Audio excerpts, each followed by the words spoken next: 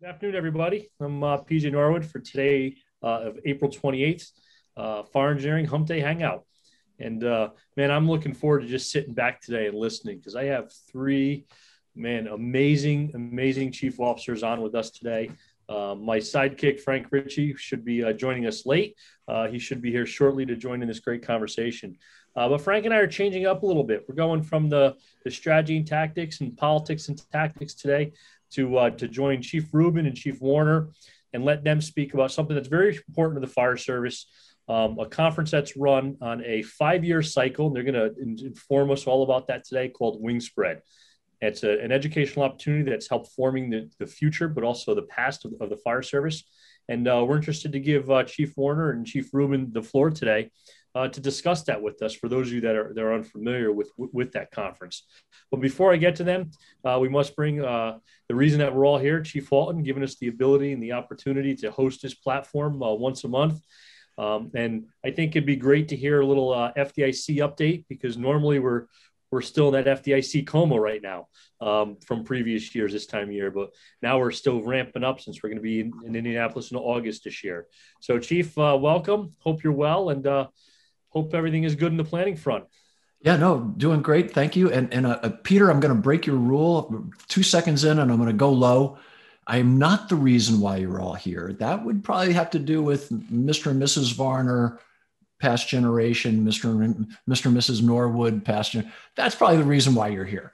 But the reason why you're here today, maybe. Uh, so I got to see. I've stu- I, st- I got to edit you, PJ. No matter what we do, I got to edit. I, I, need a lot of editing. It's no okay. right, and, and and I think that's kind of why we're all glad to be back on back to FDIC because mm-hmm. we we miss that, right? We miss the nuance of the conversation inside the conversation, the the the the, the tiny little "I love you" jabs, you know the you know what I mean? The stuff that the stuff that firefighters do that they can only do when we're together because some of that gets lost in these electronic platforms. And, and, no disrespect to electronic platforms. They've, they've done a wonderful service for us and they, they'll continue to. But the human condition was met, meant for other humans. We were designed to intermingle and be up close and personal and give each other high fives, hugs, slap one another, you know, tickle, have a good time. You know what I mean? We were we were meant for face to face. We really were. And and so our conference FDIC with you know 90 I think this is our 97th year. 1928 was the first one so I'm sorry that'd be too too far out 94th rather. So you know if you go from 1928 to today the only time we've ever missed war didn't stop it the depression didn't stop it. The only thing that stopped it was COVID which is fascinating right? So it'll be an interesting retrospective to talk about that. That'll be a big topic of conversation I'm sure. But beyond that so much has happened in the fire service. We're going to have a great presentation from Brian Brush on his study that he just finished on rescues. And one of the things that came out of it is that 10 legitimate rescues he was able to document over a 90 day period, 10, at least 10 happen every day in America, which is fascinating. I think that's a much lower number than the actual, but he was able to document 10 you know and i don't mean helped people out of a building i don't mean you know an evacuation rescues people who otherwise probably would have ex- more than likely would have expired in that fire are alive today so we've got stuff like that. We've got the metal oxide issue to talk about. We've got great new breaking information on PFOA and PFOSs. We've got tremendous new information coming out about some of the tactical approaches that we're continually looking at. And some people are doing some really innovative stuff with uh, uh, fire attack and, and the, the Chicago folks doing some really amazing stuff with high rise stuff. So we've got that just on the classroom and the workshop side alone. On the hands-on, you've got RIT Under Fire at the Illinois Fire Institute that we're going to be doing, which is an incredible opportunity. They've got a one-day special program put together for that. That's just off the charts incredible. We've got the, um, the drilling at the speed of flashover people coming back in a in a prop that's probably valued at over seventy five thousand bucks, where you can really re- they can recreate just about everybody with Scott Kraut and some of the best instructors on the planet. We've got you know we've got everybody that you, you know who's connected in some significant way to strategy and tactics in the fire service just going to be ripping through this event and plus it's it's summer school it's so it's a unique chance to be in the only summer school session of FDIC ever we've never had a summer school so you know, and, and I know everyone on this call had to attend summer school because I know your backgrounds. So don't deny it. so there's not there's nothing wrong with that. We don't hire choir boys, you know, for the fire service or choir girls. We we hire we, we tend to attract people who are risk takers and risk takers tend to blur the lines sometimes and and and step over the lines under the lines. And if you think about it, we create these brilliant, gorgeous SOPs and SOGs and, and we break every single one of them at every single fire in some nuanced albeit important and necessary way. Systems don't fight fires, people fight fires, and people make systems work. Systems don't make people work. So, which is the huge shift in how we look at our work, which has happened over the last, well, I know, six to eight years, right? 10 years. We've, we've moved away from the human factors and trying to control people to understanding that people are what control systems. So, you know, that's going to, that conversation is going to continue to evolve. So there's just some really neat stuff happening at FDIC. Registrations open, hands-on training sites are being secured. You know that we've got the the we've got some great breakthrough stuff happening in in uh, the extrication field, which is going to be premiered there. Just I mean, I could spend two and a half hours just listing the incredible brand new stuff that that has happened in the last two years that we need to sit down, discuss, evaluate, put our hands on, see how it works in Bipperville and Bopperville and Kipperville and Copperville to quote Mike Mulligan and Mary Anne in the steam shovel story, which you all should be aware of. So talk about repurposing old material, right? A book from the 1950s. But you guys remember Mike Mulligan and Mary Anne. So anyway, it, it's neat stuff. And, and I think that um, I'm, really glad that we moved the dates up so I'll be able to be at Wingspread and uh, I'll be able to be with my friends Bruce and, and uh, Dennis again and talk about, you know, our navel gazing expedition that we do there every five years now, much to my chagrin. I was the one dissenting vote, and I want to say that right off the top. It used to be every 10 years, and, and the motion was made to move to every five years. And, and uh, some of us had ulterior motives for that, which turned out to be just shy of what we wanted, but that's a whole nother story. That's kind of a private story. But um, that's a neat event. So we're going to talk about that. But registration's open. We'd love to see you there. The fun runs on, the stair climbs on. Um, the NFFF, we're going to be doing some kind of new, really cool stuff that we're doing with them. Um, the iWomen conference is on. They've got the, some fantastic speakers. That'll all be in the pre-con. Uh, the comedy night is on. The Fools Bash is on. Uh, everything we normally do. Um, so the one thing I am requesting, just so you know right up front, I'm requesting no bunker gear at the stair climb. Um, I think this year we'll just climb in our workout gear. It's going to be August for goodness sakes. Um, so we're going to take a lot of caution. I'm going to ask folks just wear your just wear your workout gear. If you want to wear a helmet, I'm cool with that. You know, if you want to wear your stair climb T-shirt, I'm cool with that. But I don't want people getting rhabdo or you know heat exhaustion um, at the climb. So please, uh, you know, I'm gonna I'm gonna I'm gonna enforce that as as my request, my personal request that this year we don't don't wear our structural gear.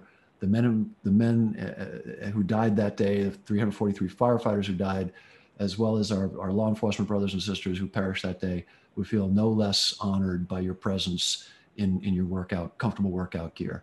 They're, they're, they're not, they're not expecting you to hurt yourself. They're, they're, they would be just as honored by just your, your presence and your participation. So that's, that's about it. Um, I'm sorry to, to ramble on. There's just so much to talk about when it comes to FDIC and the, the largest and most, and, and most historic fire conference in the world. If you go to any other conference, you're you're a terrible human being and you should be ostracized from humanity. I'm just saying that up front. No, no, it's it, it, it's the it's the it's the uh, I think it's the 14th or 16th commandment um, that when Moses, you know, he came down, he dropped one. I saw the movie with Mel Brooks. It's an actual. I have the 15, the 10 commandments. I'm just, but I'm just kidding. It's a joke, but not really. So anyway, just you know, Bobby, uh, IFE has been meeting with you for the last couple of years, and unfortunately, we had a legal requirement, so we had to go ahead and hold our uh, our meeting. We did that all online, uh, which, like you said, just isn't the same. But uh, so we're hoping that we'll be back with you next year. We'd love to see you. No, everybody's everybody's welcome at FDIC.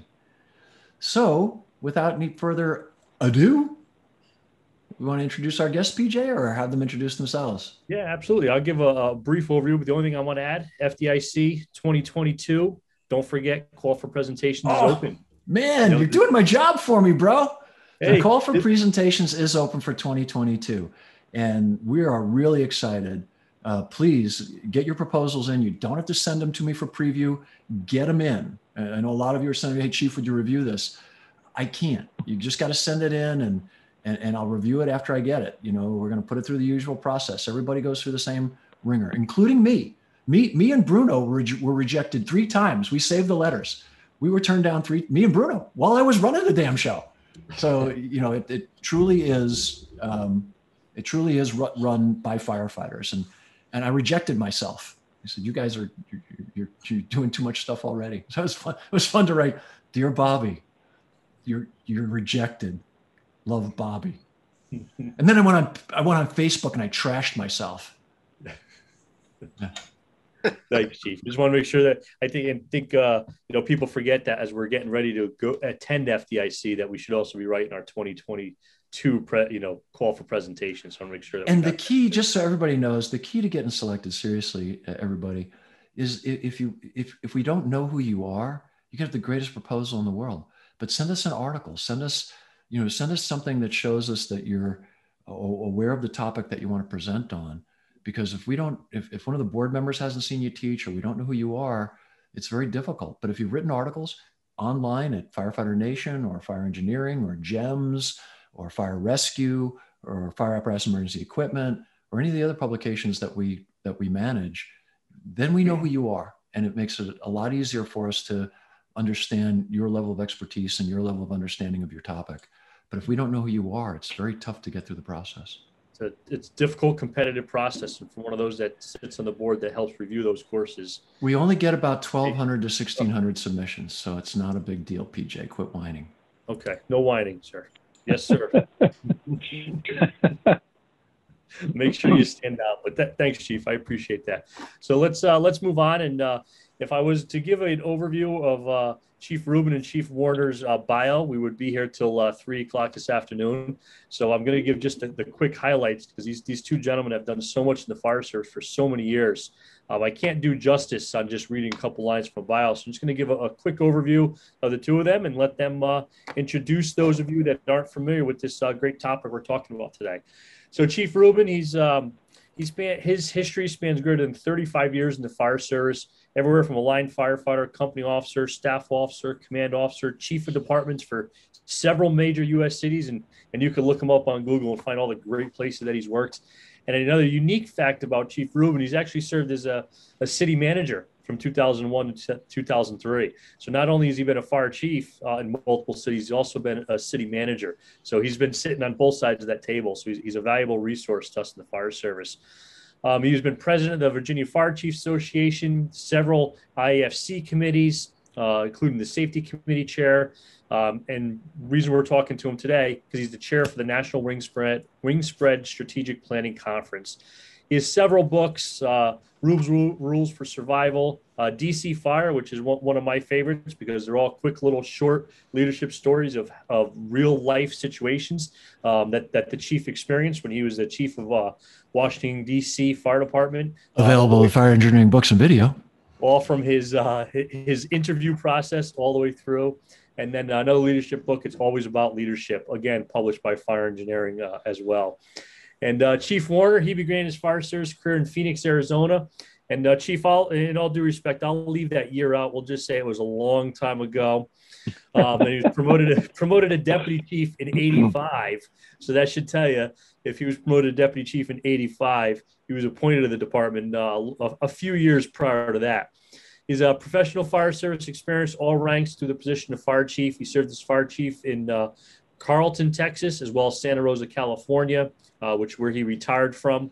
Uh, but he still has remained very active in the fire service since then, and he is also a um, very important part of the, the Wingspread Conference as as the co-chair. So, Chief and Chief, I'll start with Chief Rubin. Um, thank you for coming. It's an honor. Um, you know, I've we've known each other for quite a few years now, and you know that I've I've followed you around a little bit and kind of try to learn from you as much as I can. So I'm interested to hear what you have to tell us today. I tell you, uh, PJ Norwood, what a great person you and Bobby are as well. And quite frankly, we met at one of those FDIC networking events about 15 years ago. And it's been fun to watch your career and the great things that you're doing. So please keep it up. Um, for me, I'll, I'll be quick because I know Bruce has got a lot of comments to make too, and I don't want to step over top of him. But in 1996, Chief Brunacini, rest his soul, asked me if I wouldn't mind uh, taking on the the logistics and to support him to put on the Wingspread conference uh, that hadn't been held in a while. It, we were coming up on that timeline. So in 1966, if I have my numbers right, I believe that would have been wing spread four. And at Wingspread four, it was held in a place called Dothan, Alabama, uh, which was just outside of Atlanta. And then in 2006, the same request was made, and I had a chance to be at the Atlanta conference. Of course, I was chief there at the time. And then we were able to go back on campus in 2016 in Racine. Absolutely an amazing facility. Again, I think Bruce is going to bring out some of the details and specifics, but it's a Frank Lloyd Wright building. Probably don't have to go beyond that. All of his buildings are, are built close to water features, and it's just simply a spectacular place. While we were there, and with the only descending vote of 43 delegates being invited there by Johnson Foundation, Bobby Halton was the only person who said we shouldn't go back in five years. Chief Brunacini's vision was pretty clear to make it a very diverse group, and I think we've done that. Going back to the 1966 first Wingspread, it was all male and all white. Simply put, there wasn't consideration for diversity. Also, Chief Brunacini expected some younger people to get involved to be able to carry the torch further. Um, and then finally, 10 years is way too long, no matter what Bobby Halton says. In that, things are moving at such a rapid pace. The internet and other considerations, how fast information travels. So I, I think all the tenets that the chief put forward were honored, were put into place. And we're so excited to have a group of 35 to be invited back by the Johnson Foundation. I think we had some great success in Wingspread 6. And I believe Bruce, besides saying hello and me getting off my soapbox for a, a while, is going to discuss some of those items. Bruce, you're up next. Thanks, Dennis. You know, Bobby, w- we could look at FDIC every five years, maybe. Oh no, that would be far too long, Nicely done, Bruce. Well, it was a yeah. good conversation. We're glad we had you guys on board with us today, and you know, feel free to come back anytime. We're going dim. Sorry, Bobby, I couldn't help myself. Uh, hey, never screw with the guy that owns the microphone, brother. Well, you know, it's like screwing with somebody who buys ink by the tank carload. And I do both. yes, you do. Yes, you do. We're and we're very appreciative of all the support that you've given us. Uh, over- See, but that's the kind of stuff. Seriously, you guys, that's the kind of stuff that we all miss. You know what I mean?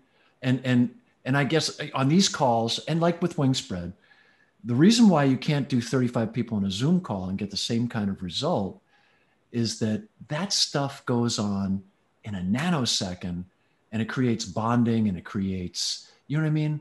There was a, we were, when Baggers used to be a small, tight group years ago, Bruce, I, don't even know if you were there then, but it was like, I was. Dennis, and we were like, there was like 12 or 13 of us.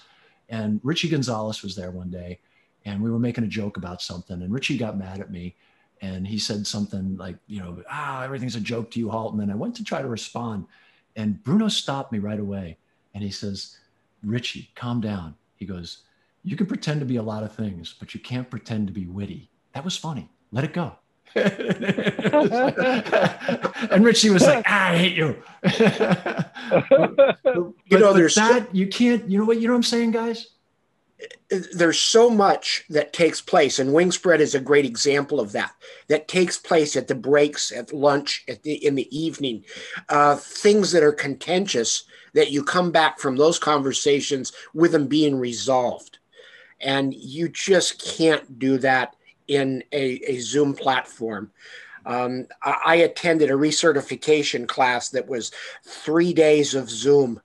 It was the worst class I ever took in my life I, I got my recertification, but it, it was awful. It, I I did that class in person. It was a tremendous class. So you know, and, and I'll I'll tout FDIC one more time. Those in-person classes are phenomenal, and my opportunities as a fire chief to bring people to those over the years every time they came back, they came back talking about what a great experience it was because of the interactions that took place and the friendships that were formed, the contacts that were made. And again, you don't you don't make those in a in a Zoom conference or a Zoom presentation. Um, let's let's go let's go back to to Wingspread, which is what we're supposed to be talking about today for for just a minute. And the the the first conference was in 1966, as Dennis said. These were all old white guys but they were significant old white guys. You, you'll recognize, I know Bobby will recognize some of these names. PJ, you may be a little young for this. Um, William Clark. Um, New York City battalion chief who later went down to Florida. He did more live fire testing during his lifetime than any man alive.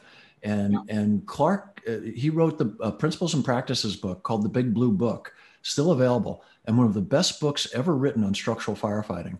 He was a he was a he was a genius. I mean, Bill Clark was an abs. There you go. Uh, that's the book. Absolute genius.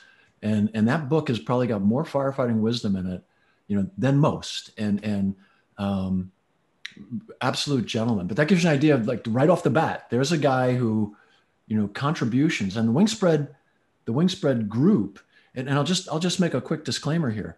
Irrespective of someone's immutable characteristics, it's the quality of their character and their contribution that matters, not whether they're gay or black or white or green or blue. And, and I guess someday we're going to find out who's flying these triangles and, and, and maybe we'll invite them. But the thing that gets you to Wingspread is, is not your immutable characteristics, it's your contribution. And I, I want to also add that at that time, while there wasn't a IFE USA branch, there was a group of IFE people in the US, and Bill Clark was the chairman.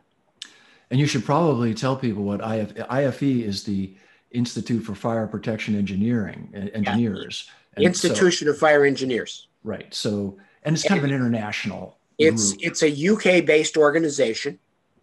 Uh, it's an international organization with branches across the world. Right. And prince, principally in Commonwealth countries. It, it originated in the UK and it, it spread to Commonwealth countries. And so, you know, some of us uh, eliminated that Commonwealth part very early on in life. I, I, I think you were going to, and I didn't mean to interrupt with Bill Clark, but what a great guy. I think you were going to say Warren Isman was next, right? Uh, nope, not, not in 1966. Mm, um, John O'Hagan, FDNY. Chief of FDNY.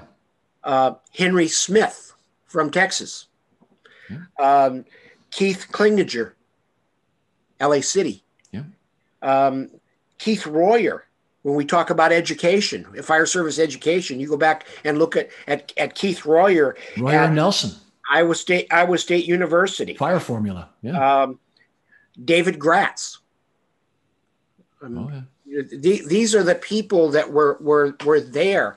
And when you look at some of the things that they talked about in 1966, when they talked about the need for education for chief officers, the need for progressive education all the way through your fire service career.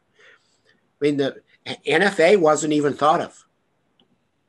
America Burning hadn't been published. Um, we we are they're they're talking about things that led to these, that led to the formation of the U.S. Fire Administration, that that led to a higher level of of, of recognition. Um, I, I liked one of them. The public is complacent towards the rising trend of life and property lost by fire. Well, we're still struggling with that, but we have made an awful lot of progress along the way. If when we look at, at when you take those numbers that they were in 66 and you extrapolate those out to what they would be today without the interventions, it it would be horrific. You talked about the, the the grabs that are being that are being made across the country from the, the study that was just done. And you know, we they also recognized and represented that a tremendous amount of our fire service, actually the, the, the huge amount of our numbers are the volunteer fire service, the volunteer and combination fire service. And, and our, our paid departments certainly are the largest departments. I did my entire career in, in the paid fire service. But when you look at, at the what the volunteers are doing across this country today, when they when they looked at it in 1966, when they looked at the trends that were going on, it, it's it's really important to us. Many places across across the United States wouldn't have any fire protection at all if it weren't weren't for the volunteer fire service. The volunteers actually greatly outnumber the paid and career guys, country, absolutely, guys and gals in this country, um, and, and many, if not everybody on this call, I'm not sure, but I, I, started off as a volunteer. I still volunteer out here in Collinsville, Oklahoma, um, and I know most of my union brothers and sisters were two hatters, and I think that that policy is greatly relaxing now um, with the new administration about that activity. I'm not, I don't want to speak for the union, but I think that more and more we're realizing that some communities just can't afford to have as, as large a cadre as they would like of paid firefighters. So that's one of the things we'll be discussing at Wingspread probably this year, you know, recruitment and retention. When I would go to a Sonoma County Chiefs meeting in Santa Rosa, I had three, three of my company and chief officers that were fire chiefs in volunteer departments that sat across the table from me in the county chiefs meetings. Uh, overall, over a third of our department were active volunteers, and made it made a huge difference.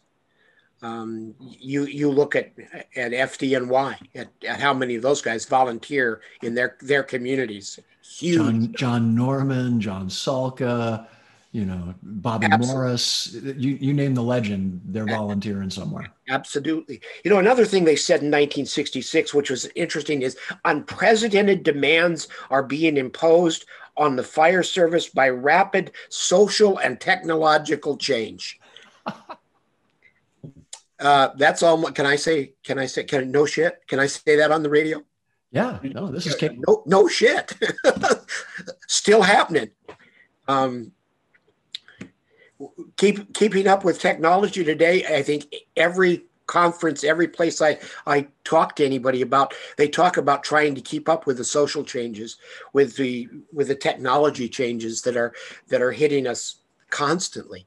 So there was a lot of forethought that went in to what what they what they were looking at. Uh, I mentioned the educational can I, can requirements. I on the on the background that you're talking about, Bruce? I, I think if you were to go back to 1966, I can speak volumes about my fire department.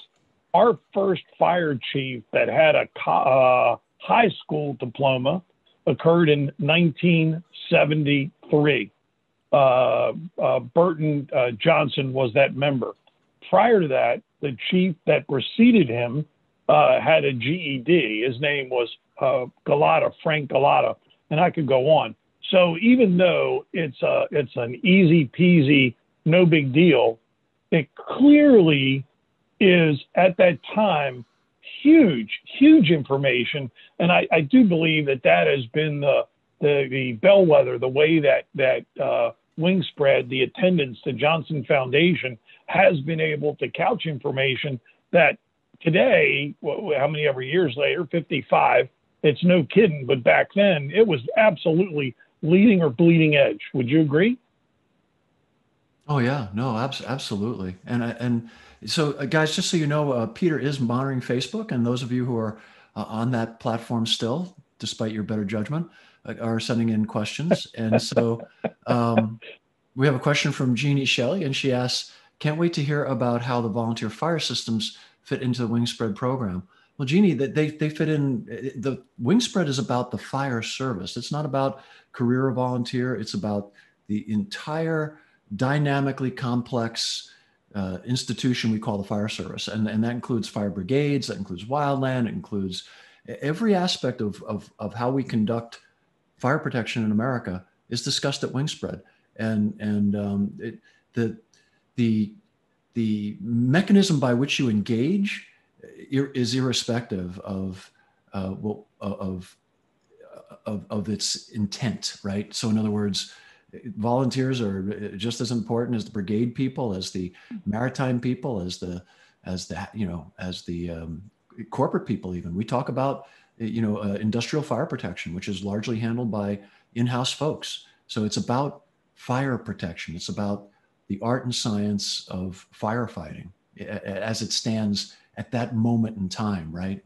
And that was Chief B's point. He and, and Dennis's point was, you know, and, and about doing it every five years. And my point was is that every generation has felt it. The, to, to Bruce's point, 66, the very first one. How can we keep up with this tremendous pace, right? So every generation has had that entrepreneur that this is the fastest moving and things have never moved as fast. But I guarantee you, in five or 10 years, or 10 or 20 years, it'll be moving faster um, because it it just seems to be the way it's going since the dawn of man. And Chief Halton, if I can add to Janine's response, in uh, the last Wingspread six, a group of, of really leading edge volunteer fire chiefs led by uh, uh, PhD Bill Jenaway asked to come together in the evenings. I don't know whether you recall this or not, yeah. But they did a white paper on top of all the significant findings that I know Bruce is going to be on top of shortly. And it was designed for volunteers to speak to some of the specific issues. You've mentioned recruitment, retention, the ability to be able to fund a volunteer system, especially in rural America. All the items that you covered would be part of the response to Janine. So I, I hope that makes sense. Bruce may want to add something as well, but we did pay special attention and uh, again allowed everybody to be represented. And I think the Wingspread seven is even going to be a larger group. Truly ac- across the fire service, and it's it's trying to bring that together, keep it small enough to be uh, effective, and at the same time bring all of those views to, together, and and have a discussion about what we're going to need to look at um, it used to be in the next 10 years. Now, what do we need to look at over the next five years? And that's that's truly a challenge. You know, as I, I one of the things I did is I flipped flipped through and looked at the uh, the statements. Not, not going into all the de- details, but in 1976, the fire service should approach the concept of regionalization without bias. We're still not there, Bruce. We're still not good, there. Good, We're good still luck. Not there. And of course, I, I, I live in Goodyear, Arizona nowadays, which is part of the Valley Consortium uh, under a single dispatch system. They, they still are autonomous fire departments, but we operate without boundaries and we, we cover the valley. Um, I, I had the benefit of being in charge of communications when we had six jurisdictions in that, and there are, I believe, up to 30 today jurisdictions that are dispatched by the regional dispatch system. And there's some rules to, to join and things that you have to do to operate the same. You have operational guidelines so that everybody's operating on the same page. That doesn't mean that there, there aren't any differences. It, it means that we we are able to operate in the same manner. You have a command system that works across the entire system. And there are those all over the country. There there are consolidations that have taken place all over the country. There's consolidations that didn't work out so well and they got a divorce. But when you look at what year would the valley of the sun system started? What year would that have been bruce when the six came together about? Uh, that would have been about uh, 70, 78, rough, roughly. So perhaps that, perhaps that was one of the successes out of Wingspread 2, correct? C- certainly, Possibly? Cer- certainly it was. And, and I will tell you that Chief Brunacini read the 66 report and he was determined to be a part of Wingspread. And is is is as you've mentioned, mentioned Dennis earlier, his involvement in seeing that Wingspread didn't die because there there seemed to be it seemed to be going away. But he was at the 76 conference. And he he went as a guest. He wasn't listed, he's not listed on the on, on the list of people on there but he was determined that that was valuable to the fire service, that it was something that should live forward, and he asked you to be a, the logistical host for the for the next one that took place. And uh, through Chief, I've got to ask: Did you have to drive him in that Nash Rambler or not? Yeah. to, to Wisconsin. so, and I think I think one of the things that's important to remember is when we get to Wingspread, we take constructs like this. In other words, there's a construct of, of um, consolidation, as Dennis just mentioned, in some of the places where they've actually made a formal, and then regionalization. Regionalization was the fundamental block behind my concept of blue card that I later, you know, gave to Chief Brunacini and his sons to build their their business plan from. But when I did the original blue card stuff, blue card was predicated on regionalizing manpower.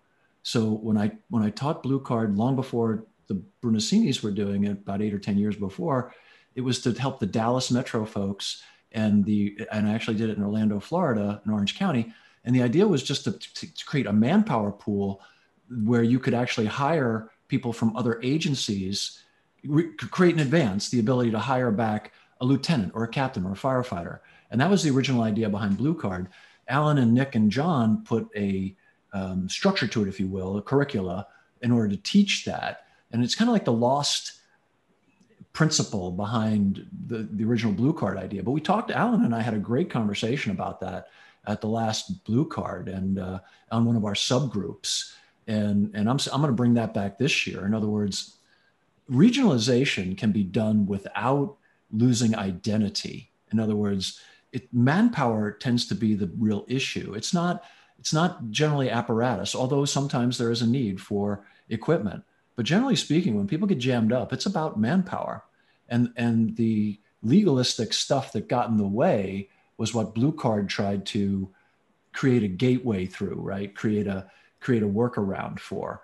And so, you know, we're going to bring that conversation back. So we got a couple of other uh, um, questions, and so I think this would be best for you, uh, Chief Rubin, and getting involved in Wingspread. And we talked a little bit about it. It's, it is truly a meritocracy of, of invitation.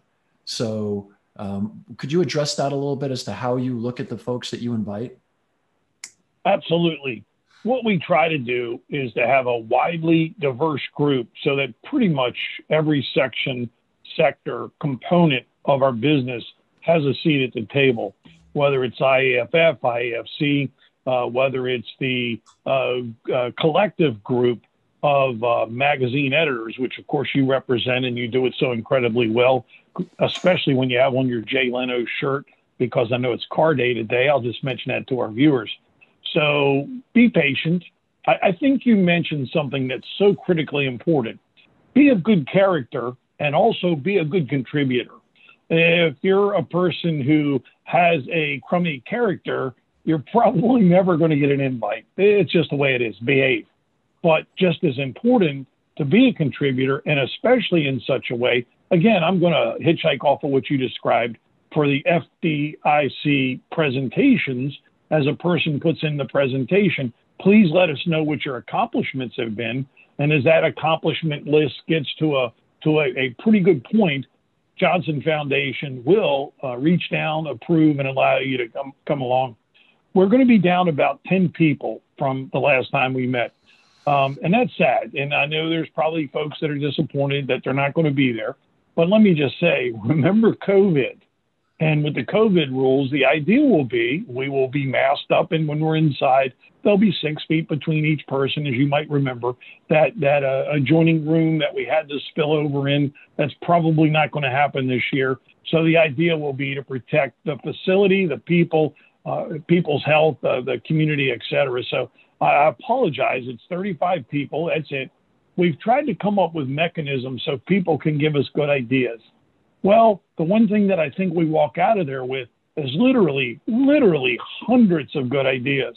It's very tough to catalog. It's very tough to get the background information. And then what the strategic plan and the action plan moving forward will be, that's the process that we've been using uh, for the past couple of events. So please read the, the uh, contents. I think Bruce is going to go over some of those and our accomplishments from, from the last term. Uh, please be a, a, uh, good steward uh, of, of your name and character. Uh, also, couple that fact with um, be a contributor, and time will tell. You will get that opportunity as time moves on. I hope. Chief, once those documents are created, that strategic plan and the operations going forward, how is that communicated to the fire service at large from that point? I, I would say, and I think Bruce would agree, we're probably a best kept secret, which is a shame in a way. There has always been a printed document, and we will print a document this year, even though we have to raise our own funds. Uh, when we print it, there'll be somewhere between 7,500 to 10,000 copies. And you saw Bruce hold up uh, his Wingspread one. They become very valuable over time. We'll be mailing out copies to all of the various fire service entities as we have done in EMS entities in the past. This time, and again through Bruce's efforts, Congress will have the 235 reps, the 100 senators, and other folks will have copies delivered to them. And then we go really hog wild with the electronic media, Facebook, uh, Twitter, etc., to get that information out so that it's downloadable. I wish we could afford a million two hundred thousand copies to cover all of our colleagues coast to coast, but that's an impossibility. However, everyone can tap into the electronic version, and all are available. And again, um, I'm, I'm the electronic nitwit. I think Bruce is going to, to be able to help us how to get those immediately. But I'm going to add one more thing. The other vision of Chief Brunacini, and boy, when Johnson Wax heard about it, uh, Johnson Foundation, it's it's owned by or was owned by Johnson Wax. It's a it's a separate group. So let me refer to the foundation. Is we're going to have an international guest for the first time in history. A senior chief officer from Canada will be with us. And the idea is to start something similar to this to our great northern neighbors to the north. Now, talk about COVID rules. It's still questionable whether uh, Ken McMullen will be able to travel. He's the fire chief, the reigning fire chief of the year uh, in in uh, Red Deer, uh, fire chief for the nation, but he works in Red Deer, Alberta. And if he can be with us, I think the impact is going to be tremendous. And again, just another uh, accolade to Chief Brunacini, rest his soul, as this process moves forward. Um, again, I, I, think Bruce probably has some information to opine on this topic as well. Well, you know, Dennis, as we've as we've looked at the people coming together for the very first time, we'll have a representative of the Federal Fire Service that's going to be with us. Um, I have uh, I have put into chat where you can get copies of everything from Wingspread one through Wingspread six.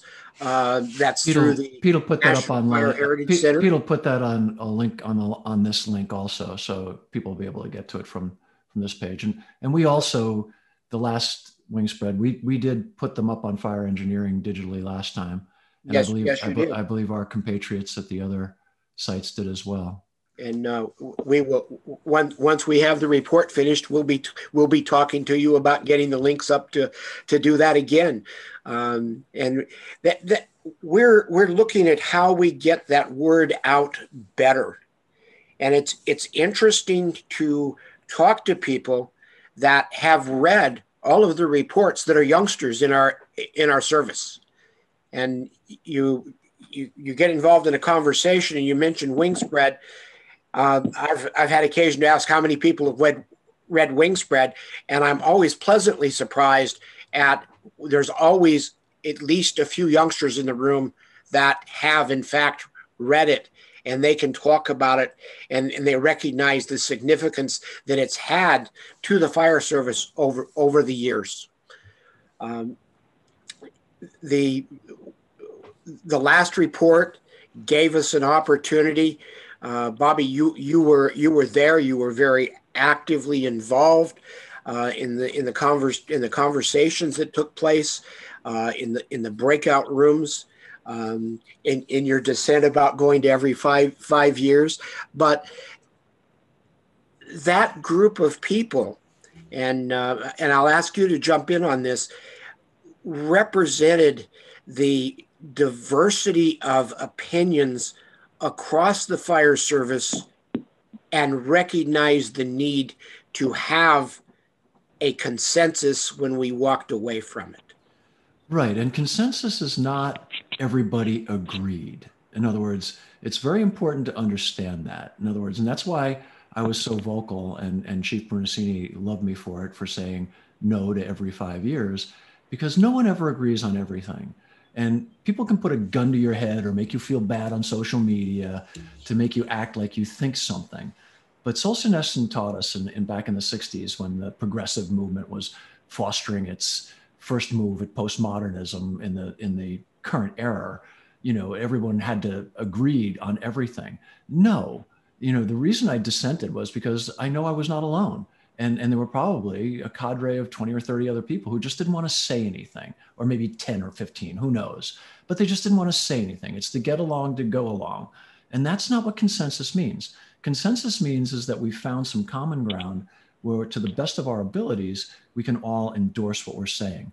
Doesn't mean that everybody believes every word of it is it's canonical, or you know, it's the it's the it's it's the it, you know it, it has uh, some you know inalienable truths to it what it means is that to the best of our abilities we were able to come to some kind of agreement on the wording or the thought process or the constructs. So be very very i'm, always very very i'm very proud of the fact that i did that and and and and and so is chief b because you know there's a modern day you know um, thought process that you know everybody has to agree on something and, and no we don't. No we don't.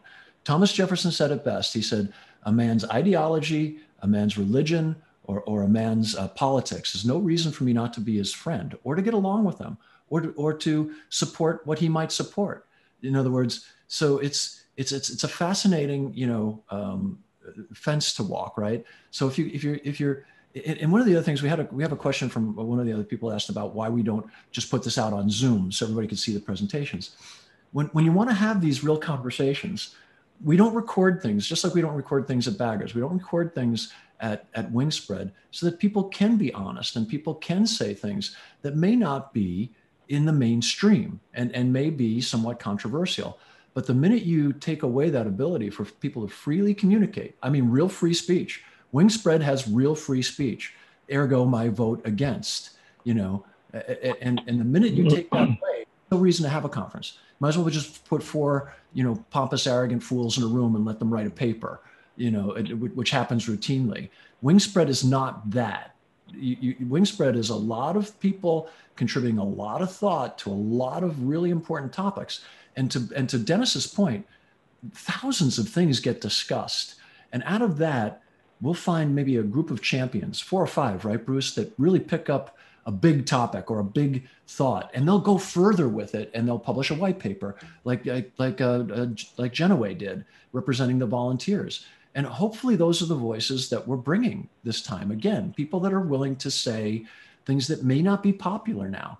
Re- remember that you know, uh, free speech isn't the speech you want to hear. Free speech is most often the speech you don't want to hear. So this isn't a rainbows and lollipops conference where everything's great. We, we talk about our warts and our underbelly.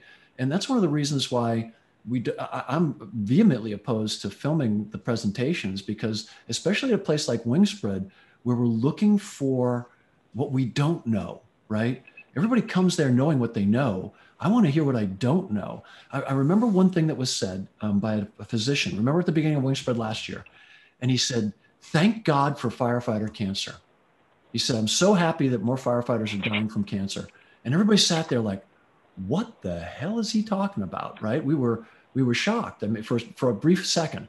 And then he explained, because that means that fewer firefighters are dying from obesity and smoking, fewer firefighters are getting killed by, you know, things that are controllable. He said, now we need to focus on controlling cancer. Right. And cancer is a later stage death. And and albeit with my deepest respect to my good friend Trevor, who passed away. He was 40 years old. He passed away on Sunday. Trevor Heather Torsten. He was a uh, Champaign, Illinois firefighter. He died of cancer. Uh, he was also with the Granite Mountain Fire Department. He was part of the Muddy River Fools. And um, my thoughts and prayers are with his family and friends and his organizations and my good friend Gary Ludwig and and um, everybody out there, Billy Laguerre, who are honoring Trevor this week. Um, so I, I, wish I could be there with you, but not to discount cancer, uh, you know, and, and its incredibly devastating impact. But that was his opening statement, right? And and if we were recording it, he may be hesitant to say that because some knucklehead could pull out that five minute, five second clip, put it up online, and destroy his career. And people do that. There are bad actors out there, mostly on Twitter and Facebook. And and and just had to throw that in there, but just to be a wise guy. But um, you know what I'm saying, right? They take they take something completely out of context, and it, it can destroy someone's career, ruin their reputation, and it it it, it, it inhibits real conversation. So uh, you know, if that ever came up for a vote, hey, let's you know zoom this out to the world. I, I again will proudly stand up and say no. Some conversations are best left between people without electronic recording devices, and and, and when we're trying to think and think critically. So, and Wingspread to Dennis's point, man, even sitting on the bus, you know, um, uh, you know, we, we, some of the best conversations, right? We're going to those um, uh, restaurants there uh, and one of them was really a cool place that Dennis took us to um, it, it, out, outside of Racine. And it's right on the water. Uh, it was marvelous, marvelous place. But, you know, even on the bus, the conversation, it, it's like FDIC. It's like the other conferences. I'm just making fun of the other people. It's like when you go to Fire Expo or any of the conferences that are out there, you know, it's those moments when you get to you know, uh, the, uh, Romanov talked about the Romanov staircase deal, right? He gets insulted, uh, the, the Russian writer gets insulted on the staircase, and then uh, brothers Romanov, and then you know, five minutes later, he thinks of the witty reply he wish he had said. You know what I mean? And and it's called the staircase moment. Well, you have those staircase moments on the bus where you think, oh man, what about? You know, and you throw it out to somebody, and somebody from the back of the bus yells out, hey, and and this, you know, and and so that's the neat thing about bringing together 35 people who you know live eat breathe the fire service. And and and wingspread is that. And and and, and it's a neat neat opportunity because you know you, you get to go someplace where really really smart people go and and and do this you know routinely and so it's kind of a neat construct i still think it should only be every 10 years but we can revisit that i'm, I'm going to raise that up for vote just for fun, just to be a wise guy. Good me. Let me let me just let me just know, add Bobby, another thought to what Bobby had to say because I think it's so important. I'm I'm looking at the uh, seven um, uh, agenda, and it talks about in 1959. That's when the whole process gets started with with Johnson Foundation, and they say the free exchange of constructive and purposeful ideas is what this entire experience and process is about. And it goes on to add a little bit more about they're they're not a special place, but they're a great place to make that happen. So in other words, if we weren't doing the things that's been discussed, if we were not part and and having open and frank and realistic and honest discussions, I don't think we would ever get another invitation back. I think we've met all that is expected of us with the Johnson Foundation and a little bit more. In fact, when we asked to come back in five years, the answer was a resounding heck yeah. You, know, Bobby, you, you mentioned it very well, and I, I hope I'll drive uh, some of our listeners to to look this up further. Is baggers and the Wingspread conferences have essentially been held under Chatham House rules. And what that is, is that you are free to reveal the ideas. You just can't, without permission, attribute them to the individuals that were involved. You can't go out and say, "Well, Bobby Halton said," and we've we've operated baggers that way for as long as I can remember being involved with baggers. First, logis- logistically, later on as a member, and now as the co-chair with Chief Jones. Um, is that's the principle under which we operated and you know, I, I remember when you used to come come hang out in Phoenix uh, at a time when you uh, when you worked in someplace in New Mexico. Um, yeah, and, uh, I, I, I, worked. I worked part. I worked part time in Phoenix. mostly, mostly during suspension. Mostly during suspensions and. Uh, yeah. exactly, but by by virtue of the best thing you can do to a bad leader is confront them and and the best thing you can possibly hope for in your career is to suffer bad leadership. it cer- it certainly builds character. oh, it, it, absolutely. I'm you know, still I'm still here. I, I did I did the first part of my career under under bad leadership, and then Chief Brunacini became the chief of the Phoenix Fire Department, and I did the rest of my career in Phoenix under extraordinarily good leadership, um, which in some ways didn't prepare me for some of the things that I encountered moving moving out as a fire chief. Well, but you know, it's and that's something else that we talk about at um, Wingspread is styles, right, Dennis? I remember we had a conversation about leadership styles and what worked for Chief Brunacini in Phoenix may not have worked for Chief Stapleton in Boston, right? And and and and God bless Leo Stapleton. He passed away two days ago. One of probably one of the most important members of my generation uh, in the fire service. You know, Leo was the original uh, SCBA person.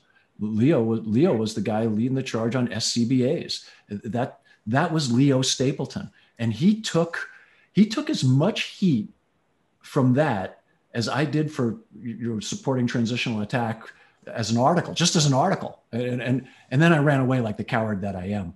But the the the but the importance of what Leo contributed, and and and and folks like that. But we look at that now and we think, well, how could anybody have been against SCBA's? I, I've got the magazines and the articles to show you, and and it was it was he was a voice in the wilderness uh, when he first was pushing SCBA's in, in, every fire. He really was. And, and so that's the kind of thing, you know, that's the kind of thing that we do at Wingspread. And those are the kind of ideas that come out of places like Wingspread. Like, you know, you know, we imagine a future and, and, and we, and we also deal in, in, in carpe diem. Where are we right now? You know what I mean? So, and and we do we do very little blaming. Blaming solves nothing. You can blame or you can learn, but you can't do both. So you know, there's very little blaming that goes on at Wingspread, and a lot of, as Dennis said, constructive. And, and every now and then, you know, somebody throws something out there, and we all are kind of like, "Hey, that's great," and then somebody goes, "That's nuts," and we all go, oh yeah that's nuts okay. And we you know we move merrily along right? I mean it's not like every idea that comes up is a you know it, it, i think it was uh, someone who once said it was just an idea nobody said it was a good one you know what i mean? And so you know it's a, but we do that. There's a lot of spaghetti that gets thrown on the wall. And and, and that's what's so cool. And, and that's why i'm so glad that you know the fdic date changed which which allows me to to re-engage because for a while there i thought i wasn't going to be able to be there but I'm excited. And, and the chance, I'm trying to think of who it was it, um, who said, um, I don't think it was, it wasn't Seneca. I apologize. But a great philosopher said that we don't create our friends by asking favors of them. We create our friends by doing favors for them. And the best thing we can share with anyone is our minds and our hearts and our souls in an honest and open way. And you know, Bruce went right to Chatham House rules, which might as well be the marquee to you know marquee to remember the old boxing. Now we got MMA cage fighting, so all that's gone by the wayside. But you know, uh, you know, it really is the free exchange of ideas. And, and and one of the things we do ask people to do is to leave your feelings at the door. You know what I mean? Try to try to be open. You know what I mean? Nowadays we filter everything to us through this you know emotional. How can i respond to this emotionally? How can i find a way to be upset? I don't don't be upset. If, if, if, you, if you're one of those people who tries to find ways to be upset you'd hate Wingspread because you'll just be pissed off the whole time. Because right right off the bat i'm going to say something to, to, to, to, to light your fuse you know or or the good doctor. And i believe it was it wasn't dr kales. Who's the doctor i'm trying to remember who opened us up last year? Augustine. Dr. Oh, dr augustine. Jimmy dr. augustine, augustine. jimmy augustine sorry, Jimmy, I forgot your first. And, and what a brilliant, lovely, incredible talent, right? I mean, unbelievable. And uh, Jim, Jim is going to join us again. He's been doing a, a lot, a lot of work with uh, with with CDC. He's been doing a lot of work with the pandemic. He, we have a presentation he's going to do is preparing for the next pandemic, um, and uh, that's that's not as it seems by the time we go through that we'll be talking about what that means to to fire and emergency services well guys you know i, I really appreciate the, the information today um, what would your avenue be for those listening to that want to learn more about this conference and more about the reports and papers that have come out? Is there one specific area? I know Chief Halton, you mentioned that uh, fire engineering has published those papers in the past. Um, maybe we can put a link up in that into the uh, Peter. Peter's already on it. There's a the, we have the Heritage Foundation, um, which is a wonderful group. Uh, they have the cop, cop, copies there of all the years. Bruce put that up. Peter is going to put that to this link. So if you want to look at the reports. So th- this year's conference is in August can I, of Can I add one? Yeah, Chief, yeah go, so, no, no hard stop. Go ahead, Dennis. No hard stop. With this conference in August of I was 20, hoping one, if you would include in your comments on when the fire service should expect the 2021 paper to be published. I, I there are also several podcasts out there. Go ahead. Go ahead, Chief. I, I can tell you that our goal is by the end of the year. Okay. That, that, we will that we will we will have it in uh, in final final editing format and and have it printed by the end of the year is is our is our goal and uh, Dennis and I are are are hard committed to that um, certainly, you don't know what life's going to bring that might that might cause a, a, delay, but that that's a hard goal for us is to have that printed and out by the end of the year.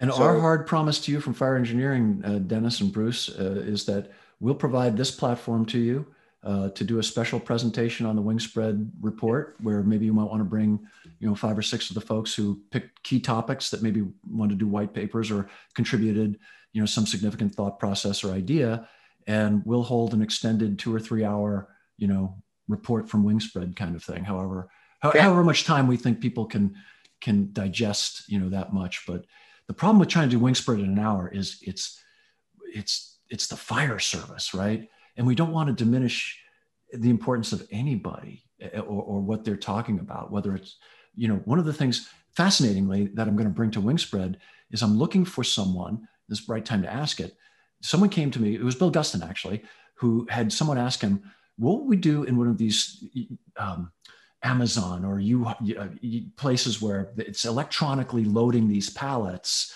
with these robots? Should there be an event, a fire, you know, hazmat spill, whatever, right? And we respond, and these things are automated, right? They're on a they're on a program. How do we manage that, right? That's a conversation for Wingspread. That well, I don't have the answer to that right now. And, and I'd love to find somebody who's either dealt with one or is dealing with one or has some ideas about dealing with one, right? I mean, Chief uh, Sean DeCrane um, and Sean Gray are currently working on a program on that through UL. They're looking at um, not necessarily Amazon, but they're looking at those uh, robots, the robots right. that deliver the cars they're right. actually those car depots, and that's what they're working on a project right now, studying and looking at that for for us. But I think that would be a great topic for Wingspread to get 35 this year, only 35 other other opinions on well, that also. I had the privilege to walk through an Amazon facility one time, They were right here. It's not far from us, so they invited several fire folks to come take a look at it. It's phenomenal, and and those machines move with purpose.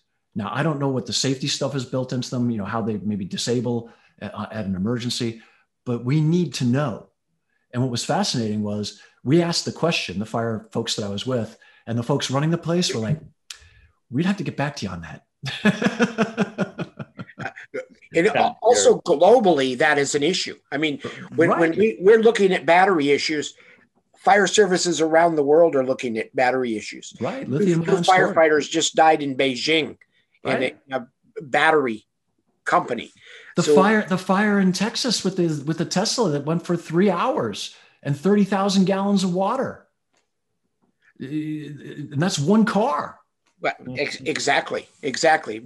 It, eh, you know, they had to keep cooling because if they didn't keep cooling, it reignited on them, which is typical of that type of battery technology. When you've got a, when you've got a runaway, UL has done some great programs on that. And that's Wingspread, right? So that's you know that's on the bus ride. You know that's the that's the that's when somebody says well i got a kid that you know worked at wherever. And, and the next thing you know th- there's the paper right dennis? That's the magic. And it's the same thing at fdic and you know it's a it's the same thing at fdic it's the same thing with the magazine and the website. You know the, the fire service but the nice thing about the fire service is we've never lived in a world where people who live in fear and scarcity do well the only people who do well are the people who live in abundance and they're willing to give away everything they have because they know that the, the more you hoard, the less you have. You know, the only way to the only way to get more is to give more. The only way to, you know, the only way to to own anything is to be able to give it away.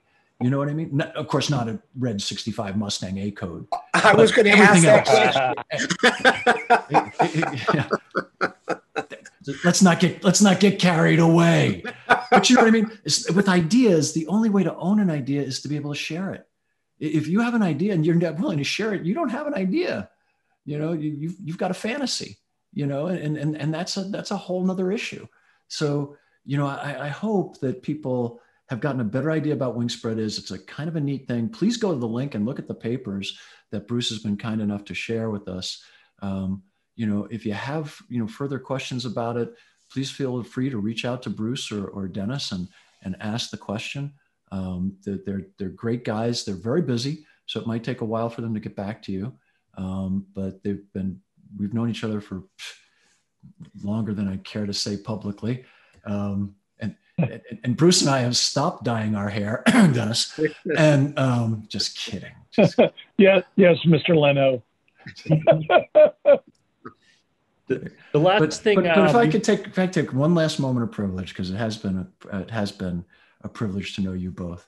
Um, you know, we we often forget to say how much we love and care about folks while they're alive, and you know, you go to funerals and you hear about how great guys are, but these are a couple of great guys. And PJ, you too, and Frank, uh, you know, he can't be here with us now, but we have all been so blessed to be uh, allowed to have these relationships that we have with one another, and and we do them despite the fact that there's many many things that we disagree on, and and and that's okay. Matter of fact, that's important to us that we honor and respect our differences as well as our commonalities and um, and I've always loved that about both of you. You know, you're you're you're great, all three of you. You're great guys, and you're wonderful people, and and that's the whole fire service. Don't forget that. If you're out there on Facebook listening now, and and and you know you're mad at somebody or over some trivial, silly thing that five years from now won't make a bit of difference. You won't remember. You, you know, you don't even remember what the why you don't like the person sometimes, or or what you were mad about, right? Uh, you know, remember the big fight we had two years ago? And the other guy goes, no, you're right. Oh, okay. Me either. You know, I, mean, it, it, so remember that, right? And, and I think that's so important uh, in this day of hysteria, just hysteria. I mean, uh, and don't feed into the hysteria. You know, if, if people are being hysterical about something that's absolutely disingenuous, call them on it. Stand up and say, no, you're being childish, grow up, you know, uh, uh, put on, you know, grow up. Hysteria never solved anything, and feeding into it is absolutely the worst thing you can do. You know, someone's making wild, you know, claims of some kind of victimization. Don't buy into it. You know, say, hey, uh, give me some concrete examples. We'll deal with it. We'll take care of it. But in, any regards, promotional opportunity, whatever it is in your system, 99% of the time, what we found out is that the more we fed into hysteria, which is the mob stuff, right? That the mob crap you see these days the, the more the more it grew. So um, I hope that helps, right? And, and at Wingspread, we deal with really objective, real problems. We deal with stuff that's you know real. You know what I mean? Objectively real. And, and that's the hallmark of those reports. If you look at them, there's nothing in there that was, you know, some wild, fancy idea. They're all very practical, actionable things that we, that we went to work on. And I think to, to the credit of the Wingspread, then the, one of the last papers, Dennis, I think there was a, there was violence, right? Violence on first responders. Yep. And, First item. Yeah, and five years ago, that wasn't a big deal. You know, we were still kind of a well, sacred the, cow. The way, the way that I think you can validate that is probably two years later, NFPA developed Standard 3000. So it really that was a, a truly valuable uh, statement of significance that the group including yourself, of course, put forward. We put together what I would describe as an action plan or what's listed as an action plan in the background. And clearly it was one of those aha moments, just what you've described. And again, everybody in the room wasn't completely connected to it, but the vast majority was, starting with the commissioner of the city of New York and Sal Cassano. Sal, and, and and the neat thing about Winston, they just give it away. In, in other words, here here's go with it. No, nobody said, "Oh, we got to be on the committee at the NFPA," or "We have to." That's my idea. You know, the minute somebody owns something, question them. what's the, what's the expression in the construction industry? A thief always marks their own tools first. nice. Nice, nice. Bobby, uh, I'd like to say thank you to to yourself, to the fire engineering uh, group at all for allowing us to be here today. PJ, uh, thank you so much, Peter. Uh, we we appreciate the opportunity. We're honored to be able to discuss Wingspread, and it's just fun to hang out with you guys. Well, you know, it's absolute, uh, you know, our pleasure and my pleasure to host this show every every month. And you know, we had a topic planned for today, uh, but we easily pushed that to next month because this is important to the fire service, um, and everybody here has always been important to me as well. And before I turn it over to Chief Halton for the last words, I want to read some of Chief Halton's words from 2006. Um, this week, uh, as Chief Halton mentioned, we lost Leo Stapleton, uh, the commissioner. And in 2006, Chief Halton prevented um, Leo Stapleton with the Lifetime Achievement Award. And I just want to read a little blurb from Chief Halton's words from that day, because when we're talking about the fire service, um, those of us that have grown up in the fire service, Leo Stapleton is someone, um, especially being a New England guy, I'm very familiar with his work to the fire service. So I just like to read this, then we'll turn over to Chief Halton to end the show today. And this was uh, Chief Halton's words in 2006. Leo Stapleton, Boston, Massachusetts Fire Commissioner, Chief of Department, was a recipient of this year's award. Stapleton began his fire service career as a firefighter of the Boston Fire Department in 1951. During his career, he rose to the ranks, was the fire commissioner, chief of the department from 1984 to 1991. There is no higher honor in Boston other than perhaps being a member of the 2004 World Championship Red Sox, which hurts as a Yankee fan, but I have to agree with Chief Halton. But for a Boston firefighter, however, is everything to have your brothers and sisters call you a good Jake. I have the honor this morning, and I say honor with tremendous humility to present the Fire Engineering 2006 Lifetime Achievement Award to Boston's own Jake of Jakes, Commissioner retired Leo D. D. Stapleton. And there's much more to that that Chief Halton said that day. Um, but Chief uh, Stapleton, Leo Stapleton passed away two days ago. And I felt it was very important to recognize him today and take that one little blurb uh, from that award ceremony, recognizing him in 2006 out. And just uh, for those of you that may not be familiar with uh, Commissioner uh, Stapleton today, go back, look him up look at some of his books. I think he has uh, 11 books published, as well as many, many articles and thousands of, of achievements. And Chief Halton mentioned the uh, SCBA is one of the pioneers of SCBAs that was actually um, adopted by NASA's uh, SCBA program for, uh, for breathing air. Uh, amazing contributions to the fire service. Um, so I thank everybody for coming today. And uh, Chief Halton, I'll give it off to you to uh, end the show today. Thank you for giving me this opportunity. Yeah, please, please keep the Stapleton family and and Trevor's uh, Henderhouse family in your thoughts and prayers. Um, they're going through tremendous loss. Um, you know, we we knew we knew them as as coworkers and friends. Uh, they were dad and grandpa and brother and sister and um, brother uh, and dad to those folks. And um, both both those men, uh, uh, Leo and his long and incredible career, affected so many people, and Trevor and his short at life affected just as many, and and so are you. And hope that hope that uh, the Jake of Jakes is looking down on us right now, and and uh, with Trevor and saying these knuckleheads, you know, keep going, you knuckleheads, keep uh, keep doing keep doing what you're doing. Be joyful, be kind, um, take care of each other, and and thank you both for uh, and your families for sharing your lives with us. So. Until next time, this is uh, Fire Engineering's Hump Day Hangout. This was Politics and Tactics with Bruce Varner, Dennis Rubin, PJ Norwood, and some old guy with a Jay Leno costume uh, saying we love you and we'll see you next time. Take care, everybody. Thank you. Have a great day. Bye bye. Take care.